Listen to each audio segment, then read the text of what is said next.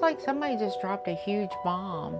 And I mean, there was nothing left. It was just complete chaos and screaming, a lot of screaming. I was uh, in Mayfield at first light outside that candle factory where I, I thought we lost 100 people. We couldn't find more than that. There are a lot of people who've been affected by this, that they're still going through the effects of that. We're on the road to recovery. One day they're, they're going to go back. And you know, when they go back, it's going to be better. It's going to be better. It's going to be, I believe in my heart, stronger.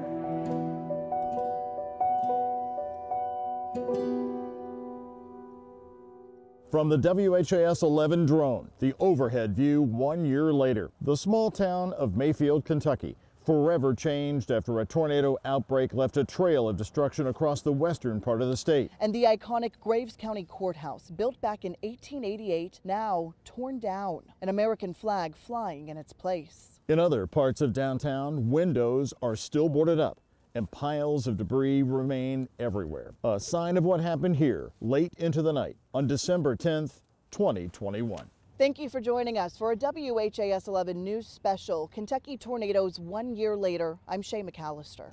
And I'm Doug Proffitt. The tornado that hit right here in Mayfield, Kentucky was on the ground for 165 miles, also devastating the towns of Dawson Springs and Bremen, Kentucky. Separate tornadoes hit Bowling Green, rural Taylor County, and other communities all across Kentucky. The warnings, though, had been coming in for more than a week, but experts say nothing could prepare them for what was to come. First responders have said this community just could not handle the wrath of this storm. Through 911 calls, firsthand accounts, videos before, during, and after the storm, we take you back to the night of December 10th.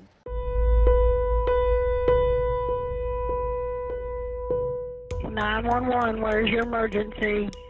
Um, yes, ma'am. I don't know who to call, but we're in a trailer park, and I'm babysitting my grandkids. Ma'am, I, I, listen to me. I don't know what to tell you to do. You need to get to a safe location now.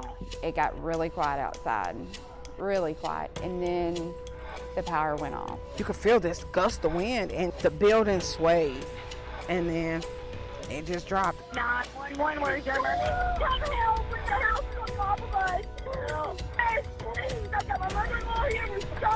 Please get somebody to the Listen, listen, listen to me. Listen to me. We are getting people on the way. It was just complete chaos and screaming. A lot of screaming. Hey, listen. Everybody's everybody's been here, and we're gonna get help out there as soon as we can. Okay? I'm freezing to death. Okay, I, I know. Yeah, there it was. I just saw it. We just got the trail. We were warned for days, weeks, and I don't think you ever, you don't ever think it's it's gonna hit, and for it to be that powerful, you just you don't think it's gonna hit you. We couldn't have prepared for the eventuality that struck Mayfield. At the Mayfield Candle Factory, more than 100 workers were feared missing, crushed beneath heavy machinery and steel beams. Kyanna Parsons Perez turned to Facebook Live for help after she says 911 dispatchers told her there was nothing they could do. Because in my mind, it hadn't even dawned on me that the whole town had been hit. I was just thinking about us. You have to delegate on who needs it the most. It's a hard decision. Within an hour, thousands of first responders from across the region were heading to Mayfield, making their way through the chaos, trying to get to the candle factory. We feared we had a mass casualty event. Paramedics and firefighters, uh, volunteers, I mean, it was all all hands on deck there. All hands on deck, including the hands that had been there on work release.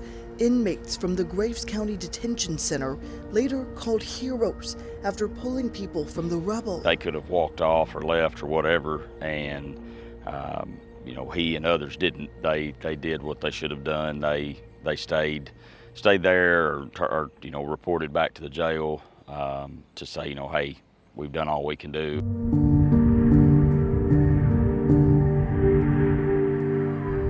December 11th, the sun rose, revealing devastation beyond belief.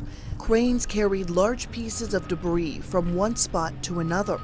The methodical rescue mission focused on finding any sign of life. I had to climb up to get out because once the rescuers did come, they told me that they couldn't move the air conditioning unit because there were about five feet of debris on top of it. So eventually, um, the way they got us all out was we had to climb up all that debris, climb across beams and debris that had um, shifted that was stationary. The desperate search lasted for four days until every person was accounted for those who survived and those who didn't. Father, thank you for who he is and what he's done. A Graves County deputy jailer among the dead. Father, I want to pray right now for this family, Lord. There were funerals that I was unable to attend because mentally I couldn't. One year later, all that's left of the Mayfield Candle Factory is the concrete foundation. No sign of the chaos, no sign of the tragedy from December 10th. It's almost as if it never was. And, you know, that wasn't a dream, that wasn't a, a nightmare, it was a part of my life. And part of this town's history that will never be forgotten. In the days after the tornado, there was another plea that we heard often. That's right, Shay. Residents, community leaders, elected officials all said, don't forget us after the headlines fade. So have they been forgotten one year later? And how often has the governor been to this part of western Kentucky since last December 10th? I asked him in a one-on-one interview in Bowling Green. Hi, Governor Hey, Beshear. Doug see you. Proffitt. Good to see you. Kentucky Governor Andy Beshear met us for our interview on this Bowling Green street, now full of new homes. His 41st visit to Western Kentucky since last December 10th, and the second time in two weeks that he'd been to this very street. 10 Habitat for Humanity houses are nearly ready for tornado victims and first time homeowners in Bowling Green. Uh, we have $16 million invested thus far uh, in 300 homes. Its progress is hard to believe considering how it all started in the evening hours, December 10th, 2021. Tell me about the moment of the, of the night or whatever it was when you learned that this was going to be as bad as it was. So I got a call. I had, think I was just going to sleep, saying that uh, the tornado had hit Mayfield, larger than anyone could have anticipated. Uh, the damage was going to be severe, and they did not know how long it would be on the ground. We knew that we'd have bad weather. There was no way we'd know there was an F4 tornado that was going to hit and be on the ground for 200 miles. It just, the trauma pours into you. Um, wanting to, to help, seeing the destruction, feeling people's grief both from loss and in that moment, the, the despair about what do we do? At one news conference, I know, like the folks in, in Western Kentucky, um, the stress and despair I'm not doing so well today, and I'm not sure how many of us uh, are. took over. I was working on getting the confirmed deaths this morning and realized I was writing on the back of, uh, of notes that one of my kids took from uh, school. In the overnight hours, as the tornado was clearing out of the state, the governor headed to the flattened Mayfield Candle Factory first, arriving just as the sun was rising, thinking at the time 100 people had died. And when you saw there were, eight backhoes trying to pull wreckage cars off what was the roof, uh, we were praying for, for a miracle, and, and, and we got one. In the end, there were 13 dead at the factory. What's the one image or something maybe someone did or said to you that uh, still sticks out to you now, one year later?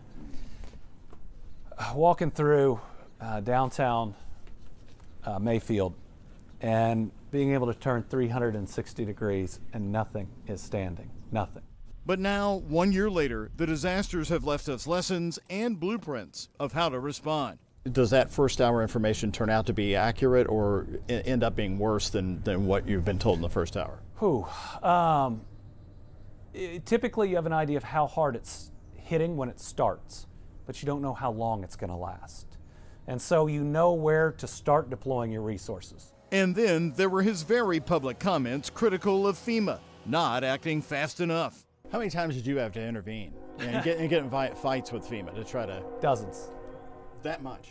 It, it, it, it's everything from, I I raised it in every call with the president and with the vice president, and, and we would see some changes uh, after that. Do they lack all compassion too? No, Did you they- see that? They have the compassion, they just have a lot of restraints And they have done things, they, they were still operating in many ways for the disasters of the past that were smaller, that weren't wiping people out uh, entirely. To help the state get around the slowness of the Federal Emergency Management Agency, the governor launched the Team Western Kentucky Tornado Relief Fund.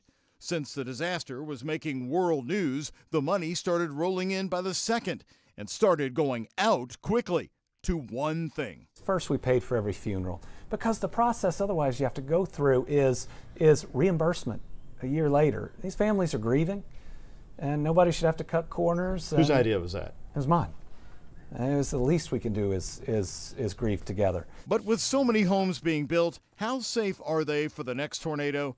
The Habitat homes, we notice, have crawl spaces under the home, but no full basements. We are building storm shelters um, uh, close to um, all of these uh, new constructions. We will have different areas um, that people will know about where they can go when something's going to hit. The demand for housing here was strong before the tornado. While we will have rebuilt, oh, I think we'll be close to 100 new homes in year one.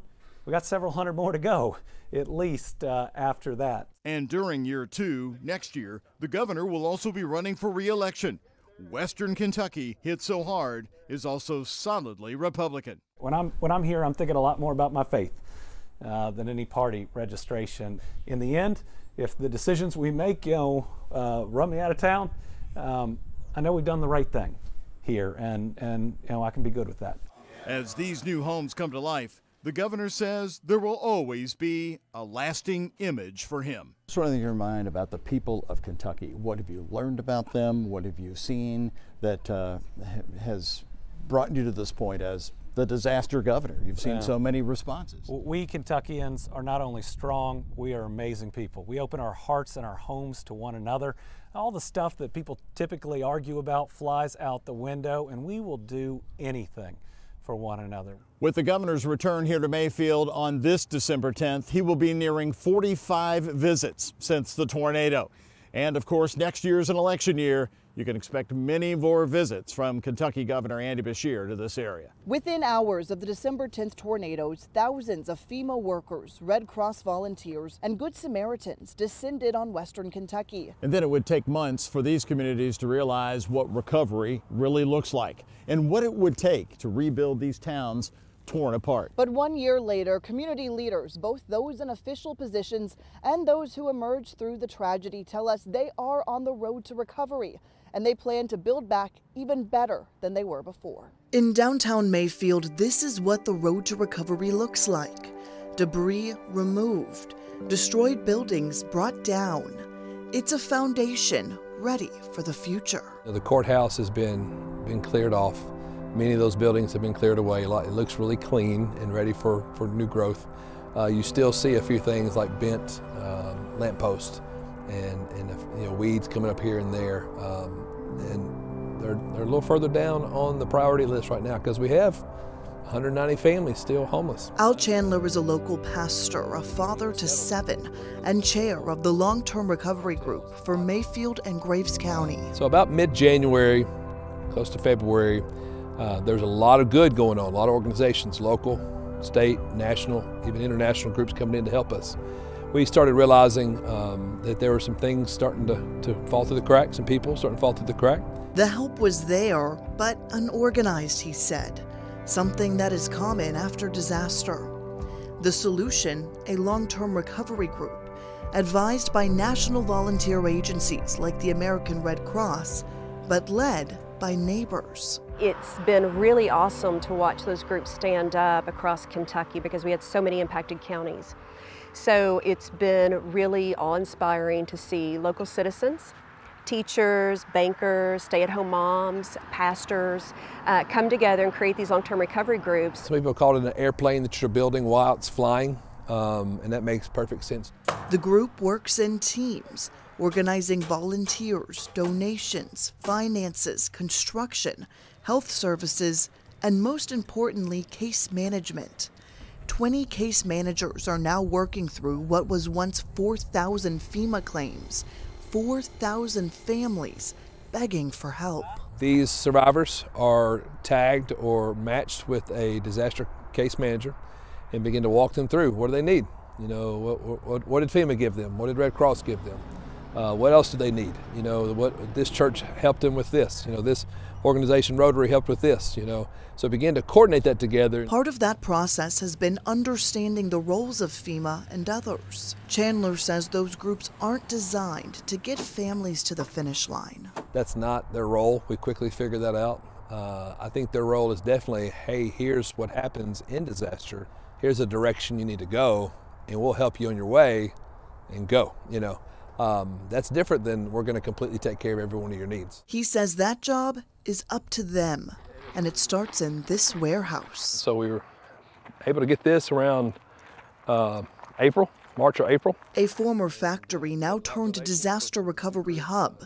Case management happens in the office, and in the back, a lot of donated materials that can come in and we're using these on, on repairs and rebuilds. The beginnings of the future. So let's go take a look.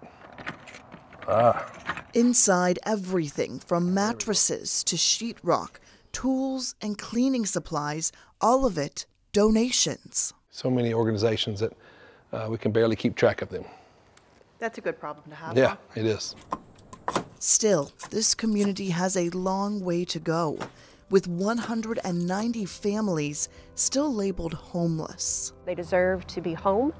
They deserve to have peace. How long do you think it'll take to get these communities back to a place where they're saying, this is it, this is where we want to be? Crossing the finish line is, um, you know, I, I don't know, Shay, that I could put a number on it, but I know that a year later, we've made big strides in getting some people home. Um, you know, if I said a year, if I said two years, I don't know because there's so much need. Uh, there were so many homes lost, so many people displaced. Um, it's beyond me to be able to put a number on that. In this community, you can't put a number on disaster recovery. You celebrate the success seen in new build homes, work through the slowdowns, so many repairs still needed, and lean into the possibilities, the cleared lots ready for their future. It's our job to, to come alongside our neighbors and to restore them and to recover them back to where they need to be, back into a home, and hopefully even better than where they were before the tornado. And nobody knows about the process of rebuilding better than the mayor of Mayfield herself, Kathy O'Nan, joining us now. Mayor, first of all, you've just done an incredible job over this last year. I've been watching it every few months as we come down here to do a story, and you can see the progress. Where do you see the most progress? I see the very most progress in people who really had no other reason of being here except for the goodness of their hearts. And that is with the nonprofits who are here building homes for our people who have lost theirs. Samaritan's Purse is probably the most well known of those, and they are currently building a subdivision for us right on the edge of town.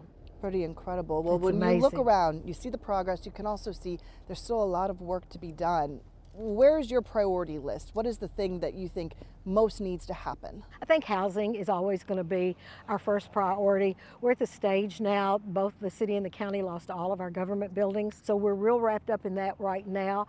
But once we get that on the ground, then we'll be back to housing for our people and, of course, rebuilding the people who are here, rebuilding their businesses and their offices. Mayor, you told me that people actually sent personal checks to the city of Mayfield. They would arrive directly here.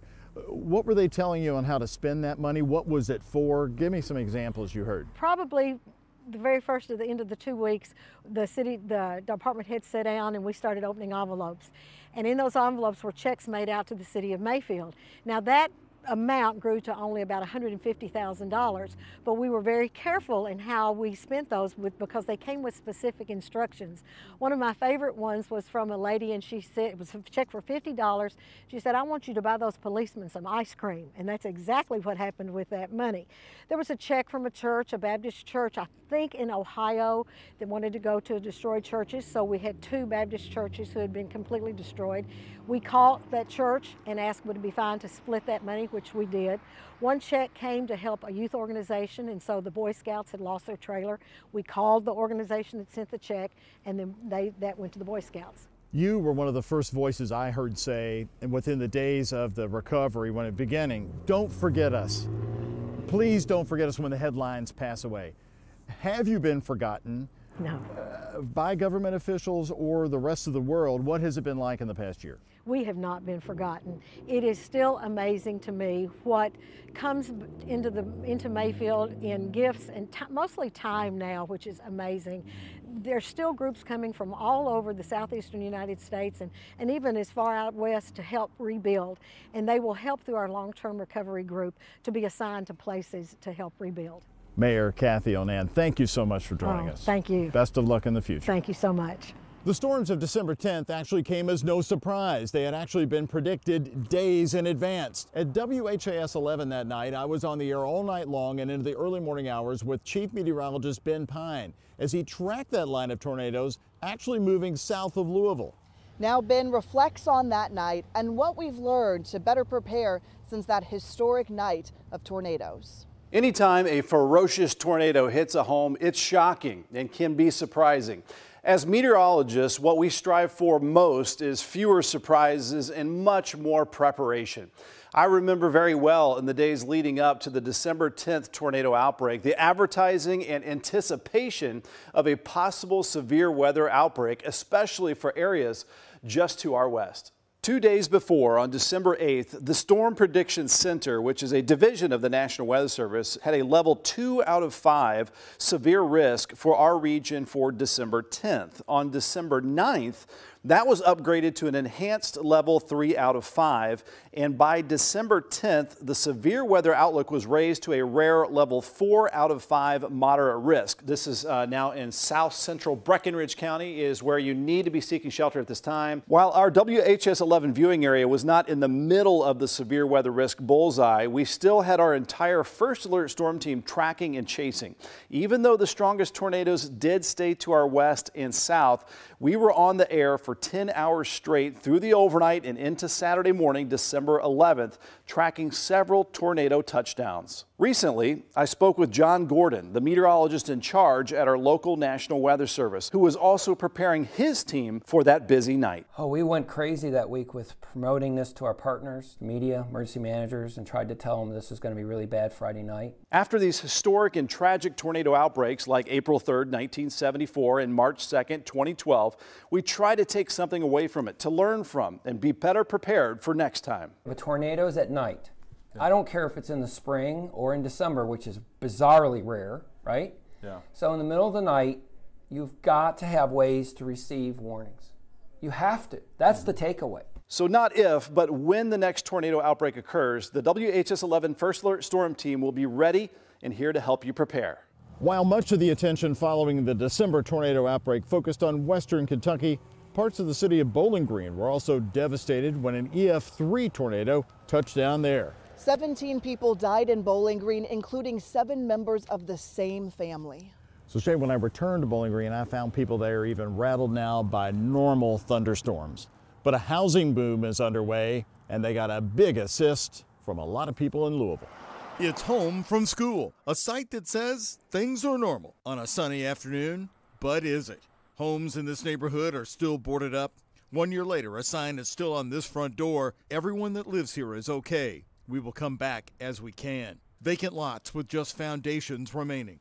Normal on Moss Creek Avenue in Bowling Green, they can only wish. I can't talk for, for the tornado. It's too much bad. Mervat Waba and Sammy Soriel lived on Moss Creek the night the tornado hit, killing 11 people who lived in three homes on this street. Seven of the dead were children. But for this couple, everybody survived. Yes. Everybody lived. Yes, thank God. They left Moss Creek and will move into one of these new Habitat for Humanity homes miles away. And if a storm approaches now, everyone is scared. Me and Tudor. But what can I do? Much of Moss Creek has since been rebuilt. It's why Mohammed Finjan told me he stayed.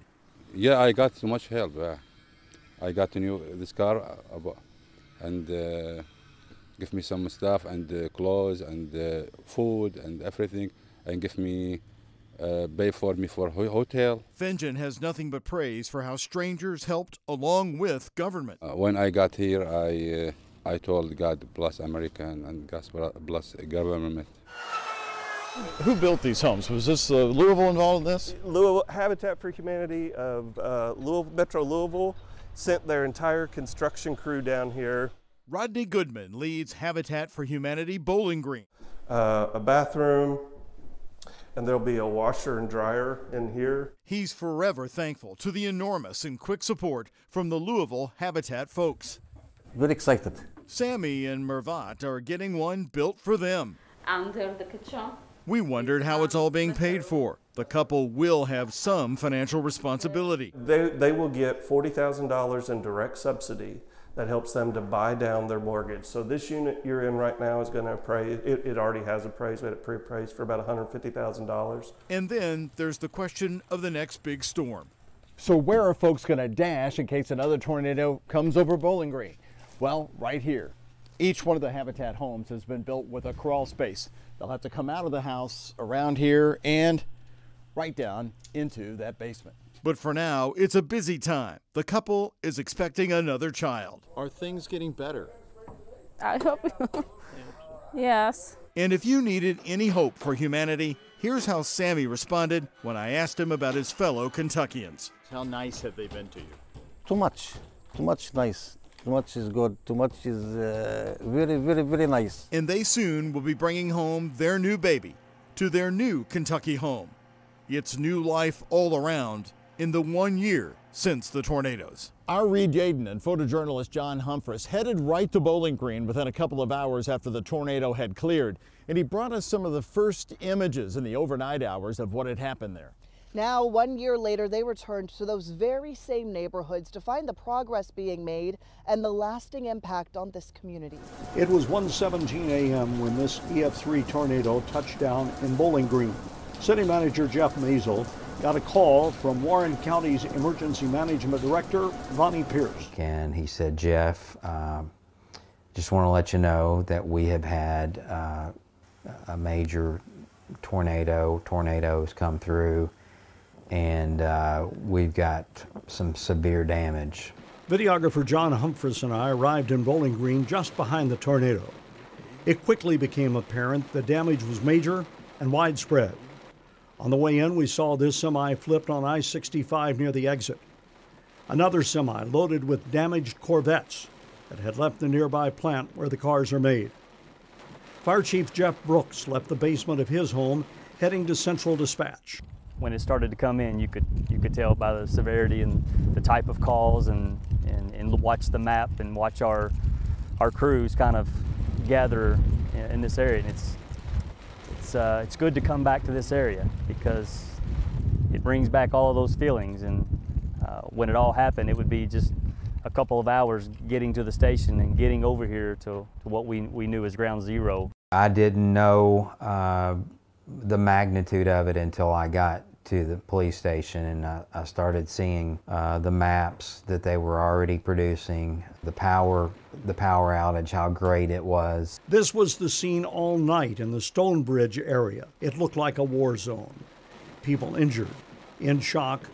In a matter of seconds, homes and apartments were reduced to this rubble. A total of 17 people died. 500 homes and 100 businesses were destroyed. Hundreds of other homes and businesses were damaged. This is the Stonebridge Lane neighborhood. The area was hit very hard and devastated by the tornado's numerous fatalities. Behind me, you can still see a lot of the scars that are still there, but the scars are slowly fading. But it has taken the better part of a year to get to this point. Let's go vertical now with our Sky 11 drone and give you a look at this neighborhood, a comparison of what it looks like today compared to what it looked like the morning after the tornado. What nature did in a matter of minutes, it has taken nearly a year to get to this point. We met Angie Guathney at what remains of her home. She and her mom were sucked out of the basement by the tornado and thrown to the front yard. And she was one of the first to the hospital, and she had to have like 70 something stitches. She's recovered there were so many people that, that didn't survive, you know, which I still think about. Think about their families and, you know, people that, that loved them. Because there were whole families that, that literally died that night. We're still in recovery. We probably will be for another year. The recovery started the morning after the tornado.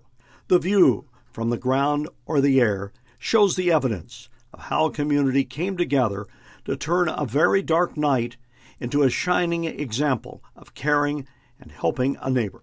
Families in rural Taylor County, Kentucky were hit hard when an EF3 tornado touched down in their community. One woman was killed and dozens of buildings and homes were destroyed. Now, one year later, First Alert Storm Team meteorologist Alden German heads back to the area where they are rebuilding to find how things are going we're a little small town Campbellsville. We had it here. We had the, the tornado here too, you know. Don't forget about us. Kelly and Anthony Parker lived in their Taylor County home for over 20 years when it was destroyed early December 11th, 2021. Their family lost almost everything. They had just finished paying off their home in February that year and have started over from almost nothing very slowly. Getting back on our feet's been, been tough. Even with the help of dozens of volunteers immediately after the tornado, it's been a challenge to get their property property rebuilt. Inflation and supply chain disruptions skyrocketed the price of building materials. Even at that, I mean, if you do get supplies, there's so many people, they're so busy, there's not enough workers, you know, to build all these homes back. The Parkers and many other families that are rebuilding their homes aren't taking any chances. Even though they have a basement,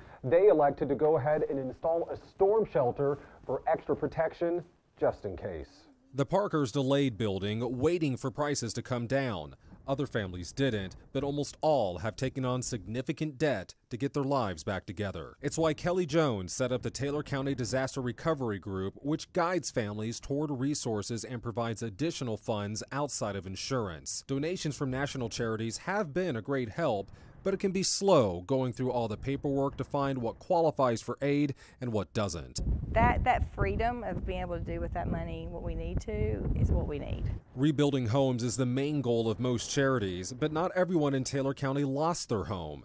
Instead, they lost barns and garages, a huge part of their livelihood. Direct monetary donations to local organizations like Taylor County Disaster Recovery help speed that process along. Any help has been appreciated, but it's been an exercise in patience for everyone affected.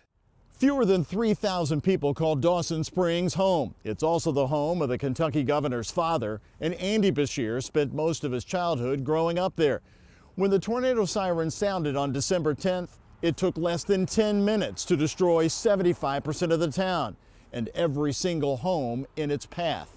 Now, 12 months later, people are passionate about recovery. They're positive about the rebuilding process, and they tell us they are determined to stay in Dawson Springs, redefining what it really means to be home. A quaint downtown marks the heart of Dawson Springs. Signs of strength hang from businesses. The American flag flies proud above the square. In this small town of about 2,500, Damaged homes stretch in every direction. Half a mile away, Dolores Williams meets us on her street.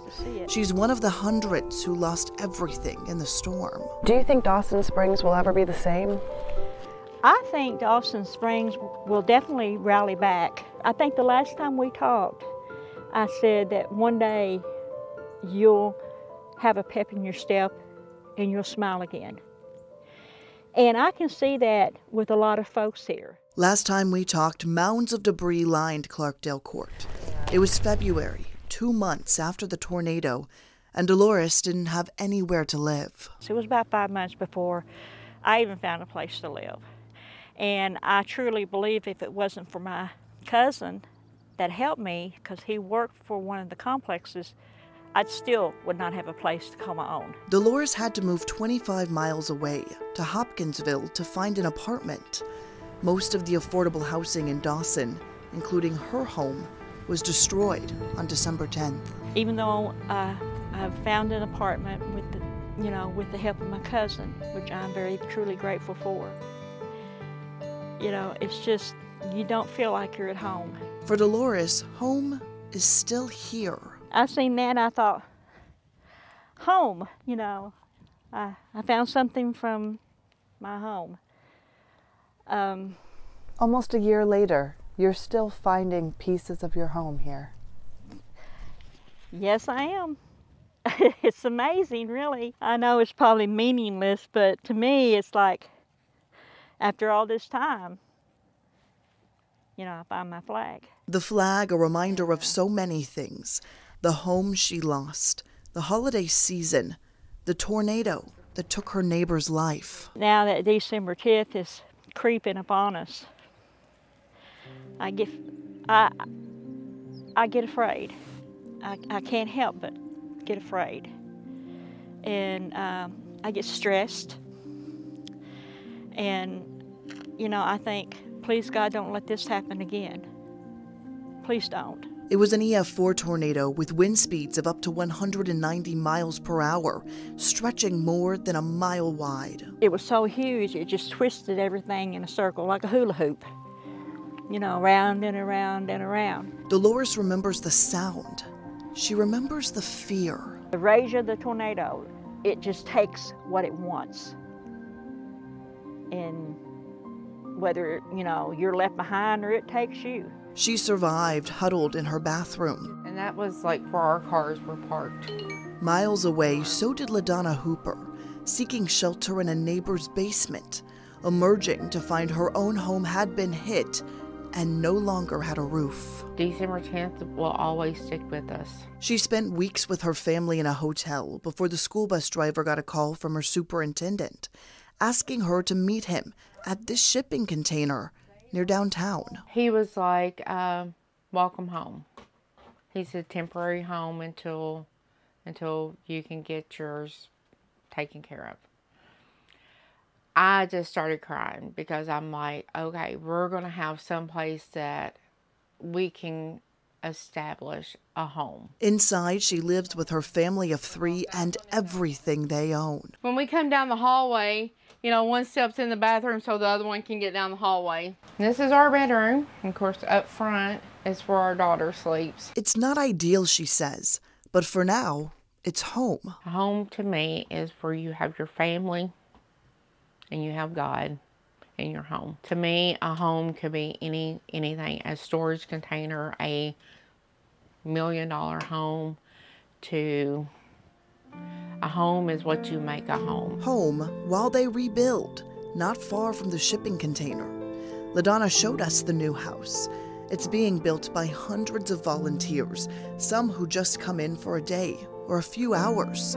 They come into town to help families like hers. We've had so many people come in and just write verses um, on the walls and, you know, just kind of bless our home. This is our kitchen. This will be our kitchen over here. Um, our living room. She says it's been a slow rebuild because they are relying on volunteers and donations. And even though it is taking time, she is so grateful. We can actually see a house. We can walk in it. It has doors, it has windows, it has, you know, uh, the power got hooked up to it. And I got to thinking, you know what? Life is amazing. You know, you're alive. You survived. You get up every morning and you put one foot down, put the other one in front of it, and you keep going. So, yeah, life is amazing. When she moves into her new house at the beginning of next year, another family will move into the shipping container, as the community is still short hundreds of houses, and most have not started to rebuild. But there is no lack of determination, not even from people like Dolores, still displaced, living in another town. I get excited when I think about a year from now what can be here and what's going to be here. And it's not going to stay like this. Dawson is not going to let it stay like this. The people aren't going to let it stay like this. A small community building back, one home at a time. Dawson Springs is a very special place, and we stand Dawson strong all day long. The community also now getting help from the new Dawson Area Personal Services Food Bank. Various churches sponsor the bank, and it opened in a new location in October. The tornado outbreak changed the lives of thousands of people across Kentucky. For dozens, their lives were altered with the loss of a loved one. 80 people were killed across the state of Kentucky. Now, family and friends are doing what they can to keep their memories alive.